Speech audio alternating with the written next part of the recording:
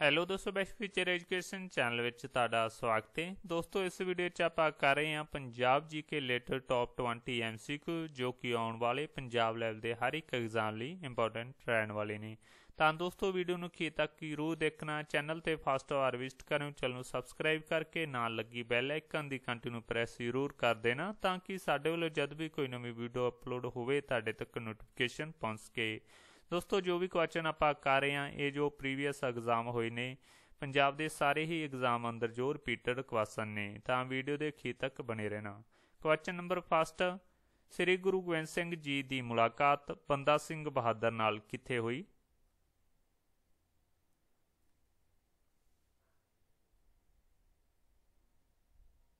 ਤਾਂ right answer ਹੈ ਨਦੇੜ। ਠੀਕ ਹੈ ਜੀ, ਨਦੇੜ ਵਿਖੇ ਹੋਈ ਸੀਗੀ ਜੋ ਬੰਦਾ ਸਿੰਘ ਬਹਾਦਰ ਤੇ ਸ੍ਰੀ ਗੁਰੂ ਗੋਬਿੰਦ ਸਿੰਘ ਜੀ ਦੀ ਮੁਲਾਕਾਤ, ਨਦੇੜ ਜੋ ਮਹਾਰਾਸ਼ਟਰ ਵਿਖੇ ਸਥਿਤ ਹੈ। ਸੰਤੋਖਸਰ ਸਰੋਵਰ ਕਿੱਥੇ ਬਣਾਇਆ ਗਿਆ ਸੀ?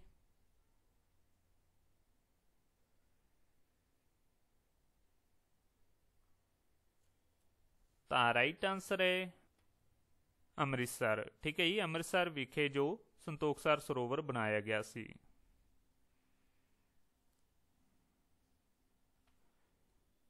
ਅਨੰਦਪੁਰ ਸਾਹਿਬ ਦੀ ਦੂਜੀ ਲੜਾਈ ਕਦੋਂ ਹੋਈ?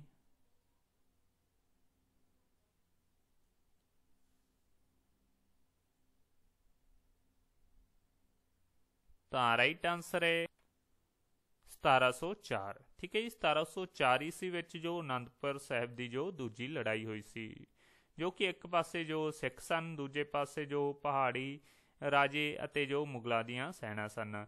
ਇਸ ਲੜਾਈ ਵਿੱਚ ਹੀ ਜੋ 40 ਸਿੰਘ ਸਨ, ਗੁਰੂ ਜੀ ਨੂੰ ਜੋ ਬੇਦਾਵਾ ਦੇ ਕੇ ਲੜਾਈ ਦੇ ਮੈਦਾਨ ਵਿੱਚੋਂ ਚਲੇ ਗਏ ਸਨ।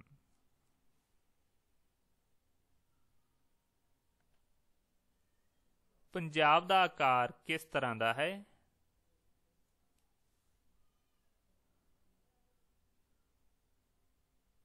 ਤਾਂ ਰਾਈਟ ਆਨਸਰ ਹੈ ਤਿਕੋਣਾ। ਠੀਕ ਹੈ ਜੀ? ਮਤਲਬ ਕਿ ਜੋ ਟ੍ਰਾਇੰਗੂਲਰ ਹੈ, ਜੋ ਪੰਜਾਬ ਦਾ ਆਕਾਰ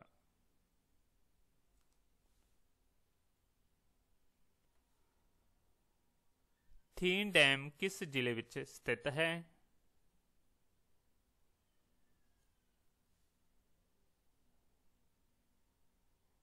ਤਾਂ ਰਾਈਟ ਆਨਸਰ ਹੈ ਪਠਾਨਕੋਟ। ਠੀਕ ਹੈ ਜੀ, ਪਠਾਨਕੋਟ ਵਿਖੇ ਜੋ ਰਾਵੀ ਨਦੀ ਤੇ ਸਥਿਤ ਹੈਗਾ, ਥੀਨ ਡੈਮ। ਐਂਡ ਜੋ ਥੀਨ ਡੈਮ ਦਾ ਹੋਰ ਦੂਸਰਾ ਨਾਮ ਹੈ ਰਣਜੀਤ ਸਾਗਰ ਡੈਮ। ਤਾਂ ਦੋਸਤੋ, ਇੱਥੇ ਆਪਣੇ ਜੋ ਤਿੰਨ ਕੁਐਸਚਨ ਬਣ ਗਏ ਨੇ, ਮਤਲਬ ਕਿ ਜੋ ਥੀਨ ਡੈਮ ਹੈਗਾਗਾ ਪਠਾਨਕੋਟ ਵਿਖੇ ਐਂਡ ਜੋ ਥੀਨ ਡੈਮ ਹੈਗਾ ਰਾਵੀ ਨਦੀ ਤੇ ਸਥਿਤ ਹੈਗਾ ਐਂਡ ਥੀਨ ਡੈਮ ਨੂੰ ਜੋ ਰਣਜੀਤ ਸਾਗਰ ਡੈਮ ਨਾਲ ਵੀ ਜਾਣਿਆ ਜਾਂਦਾ ਹੈ।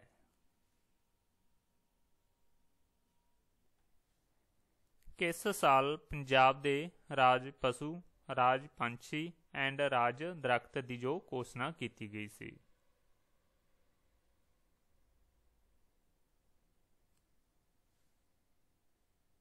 ਤਾਂ ਰਾਈਟ ਆਨਸਰ ਹੈ 1999 ਠੀਕ ਹੈ 1999 ਇਸੀ ਵਿੱਚ ਜੋ ਜੋ ਰਾਜਪੰਛੀ ਐਂਡ ਰਾਜ ਦਰਖਤ ਐਂਡ ਰਾਜ ਪਸ਼ੂ ਜੋ ਪੰਜਾਬ ਦਾ ਘੋਸ਼ਿਤ ਕੀਤਾ ਗਿਆ ਸੀਗਾ ਐਂਡ ਪੰਜਾਬ ਦਾ ਜੋ ਰਾਜ ਪਸ਼ੂ ਹੈਗਾ ਕਾਲਾ ਹਿਰਨ ਰਾਜ ਪੰਛੀ ਹੈਗਾ ਕੋਇਲ ਐਂਡ ਰਾਜ ਦਰਖਤ ਟਾਲੀ ਠੀਕ ਹੈ ਜੀ ਟਾਲੀ ਜਾਂ ਤੁਹਾਨੂੰ ਸੀਸਮ ਵੀ ਆ ਸਕਦਾ ਹੈ।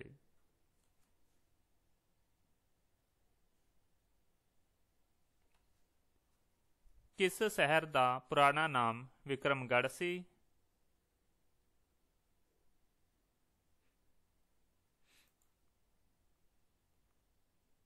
ਤਾਂ ਰਾਈਟ ਆਨਸਰ ਹੈ ਬਠਿੰਡਾ। ਠੀਕ ਹੈ ਜੀ, ਬਠਿੰਡਾ ਸ਼ਹਿਰ ਦਾ ਜੋ ਪੁਰਾਣਾ ਨਾਮ ਵਿਕਰਮਗੜ ਸੀ।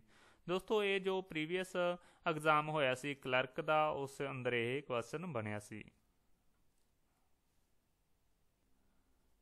ਰਸੀਦੀ ਟਿਕਟ ਕਿਸ ਦੀ ਆਤਮਕਥਾ ਹੈ?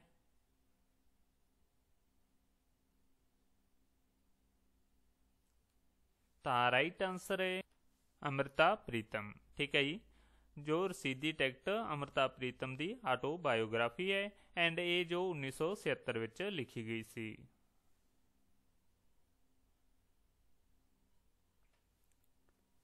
ਆਧੁਨਿਕ ਪੰਜਾਬੀ ਸਾਹਿਤ ਦਾ ਪਿਤਾਮਾ ਕਿਸ ਨੂੰ ਕਿਹਾ ਜਾਂਦਾ ਹੈ?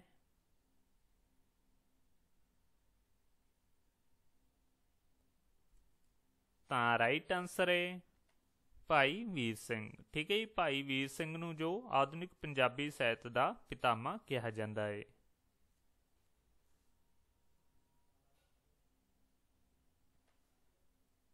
ਗਦਰੀ ਬਾਬਿਆਂ ਦਾ ਮੇਲਾ ਕਿੱਥੇ ਲੱਗਦਾ ਹੈ?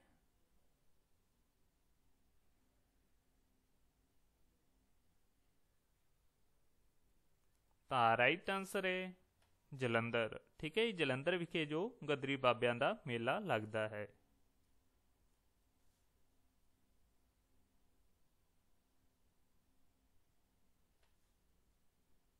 ਪੰਜਾਬ ਦੀ ਕੋਇਲ ਕਿਸ ਨੂੰ ਕਿਹਾ ਜਾਂਦਾ ਹੈ?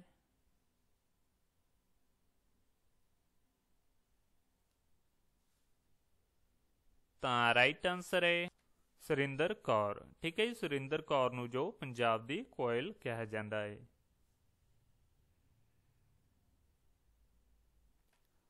ਹਿਮਾਯੂ ਅਤੇ ਸ੍ਰੀ ਗੁਰੂ ਅੰਗਦ ਦੇਵ ਜੀ ਦੀ ਮੁਲਾਕਾਤ ਕਿੱਥੇ ਹੋਈ?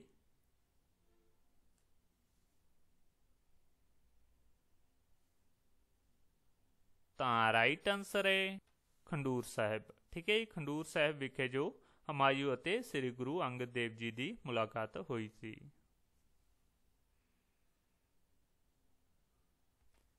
ਸ੍ਰੀ ਗੁਰੂ ਗ੍ਰੰਥ ਸਾਹਿਬ ਵਿੱਚ ਕਿੰਨੇ ਭਗਤਾਂ ਦੀ ਬਾਣੀ ਸ਼ਾਮਲ ਹੈ?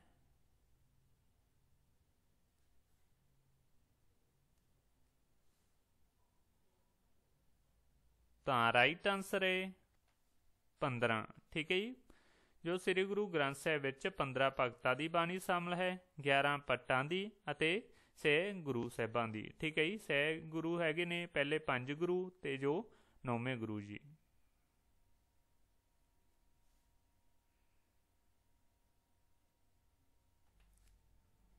ਸ੍ਰੀ ਗੁਰੂ ਗ੍ਰੰਥ ਸਾਹਿਬ ਵਿੱਚ ਪਹਿਲਾ ਰਾਗ ਕਿਹੜਾ ਹੈ?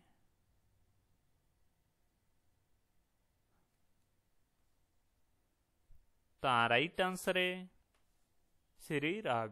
ਠੀਕ ਹੈ ਜੀ, ਸ੍ਰੀ ਗੁਰੂ ਗ੍ਰੰਥ ਸਾਹਿਬ ਵਿੱਚ ਪਹਿਲਾ ਰਾਗ, ਜੋ ਸ੍ਰੀ ਰਾਗ ਹੈ ਐਂਡ ਜੋ ਸ੍ਰੀ ਗੁਰੂ ਗ੍ਰੰਥ ਸਾਹਿਬ ਵਿੱਚ ਕੁੱਲ 31 ਰਾਗ ਨੇ।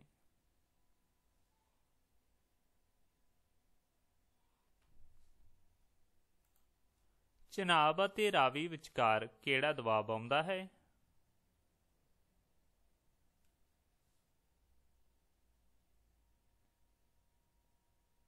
ਤਾਂ ਰਾਈਟ ਆਨਸਰ ਹੈ ਰਚਨਾ ਦਬਾਅ। ਠੀਕ ਹੈ ਜੀ, ਚਨਾਬ ਅਤੇ ਰਾਵੀ ਦਰਿਆ ਵਿਚਕਾਰ ਜੋ ਰਚਨਾ ਦਬਾਅ ਆਉਂਦਾ ਹੈ। ਤਾਂ ਦੋਸਤੋ, ਇੱਥੇ ਆਪਾਂ ਨੂੰ ਜੋ ਯਾਦ ਕਰਨਾ ਆਸਾਨ ਹੋ ਜਾਂਦਾ ਹੈ, ਕਿਉਂਕਿ ਜੋ ਰਾਰਾ ਹੈ, ਠੀਕ ਹੈ ਜੀ, ਰਾਵੀ, ਚਨਾਬ, ਠੀਕ ਹੈ ਜੀ ਜਾਨੀ ਕਿ ਦੋ ਅੱਖਰ ਜੋ ਚਨਾਬ ਨਾਲ ਮੇਲ ਖਾਂਦੇ ਨੇ, ਤੇ ਇੱਥੇ ਆਪਾਂ ਨੂੰ ਯਾਦ ਕਰਨਾ ਆਸਾਨ ਹੋ ਜਾਂਦਾ ਹੈ।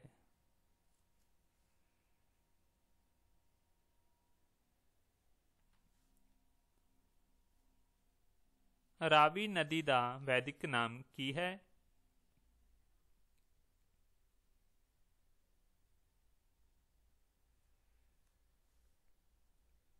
ਤਾਂ ਰਾਈਟ ਆਨਸਰ ਹੈ ਪੁਰਸਨੀ। ਠੀਕ ਹੈ, ਰਾਵੀ ਨਦੀ ਦਾ ਜੋ ਵੈਦਿਕ ਨਾਮ ਪੁਰਸਨੀ ਹੈ ਐਂਡ ਜੋ ਵਿਪਾਸਾ ਹੈਗਾ ਬਿਆਸ, ਦਰਿਆ ਦਾ ਨਾਮ ਐਂਡ ਜੋ ਅਸਕਨੀ ਹੈਗਾ ਚਨਾਬ ਦਾ ਐਂਡ ਵਿਤਾਸਤਾ, ਠੀਕ ਹੈ ਜੀ, ਜੈਲਮ ਦਾ। ਤਾਂ ਇਹ ਤੁਸੀਂ ਯਾਦ ਰੱਖਣਾ ਹੈ। ਵਿਪਾਸਾ ਜੋ ਵਿਆਸ ਦਾ ਨਾਮ ਹੈ ਅਸਕਨੀ ਹੈਗਾ ਜੋ ਚਨਾਬ ਦਾ, ਵਿਤਾਸਤਾ ਜੋ ਜੇਲਮ ਦਰਿਆ ਦਾ, ਐਂਡ ਜੋ ਪੁਰੁਸ਼ਨੀ ਹੈਗਾਗਾ ਰਾਵੀ ਦਾ। ਇਹਨਾਂ ਵਿੱਚੋਂ ਇੱਕ ਕੁਐਸਚਨ ਦੋਸਤੋ, ਹਰ ਇੱਕ ਐਗਜ਼ਾਮ ਵਿੱਚ ਦੇਖਣ ਨੂੰ ਮਿਲਦਾ ਹੈ। ਹੇਠ ਲਿਖਿਆਂ ਵਿੱਚੋਂ ਕਿਹੜਾ ਜ਼ਿਲ੍ਹਾ ਪਾਕਿਸਤਾਨ ਦੀ ਹੱਦ ਨਾਲ ਲੱਗਦਾ ਹੈ?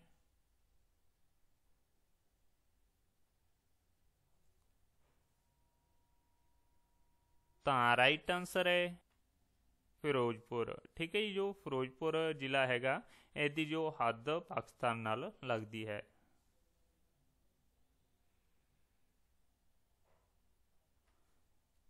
ਅੰਗਰੇਜ਼ਾਂ ਦੁਆਰਾ ਪੰਜਾਬ ਨੂੰ ਅੰਗਰੇਜ਼ੀ ਸ਼ਾਮਲ ਵਿੱਚ ਕਦੋਂ ਸ਼ਾਮਲ ਕੀਤਾ ਗਿਆ?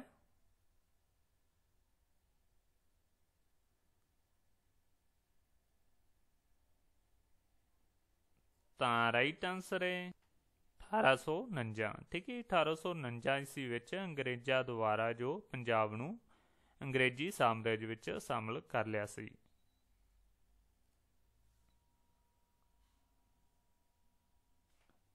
ਪੈਪਸੂ ਰਾਜ ਦੀ ਰਾਜਧਾਨੀ ਕਿਹੜੀ ਸੀ?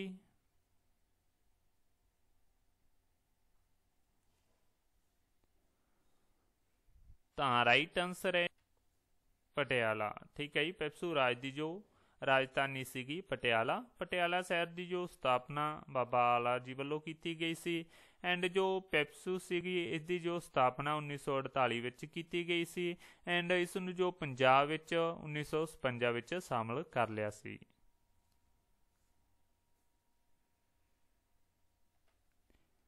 ਪੰਜਾਬ ਦੀ ਵੰਡ 1947 ਵਿੱਚ ਕਿਹੜੀ ਯੋਜਨਾ ਅਧੀਨ ਹੋਈ?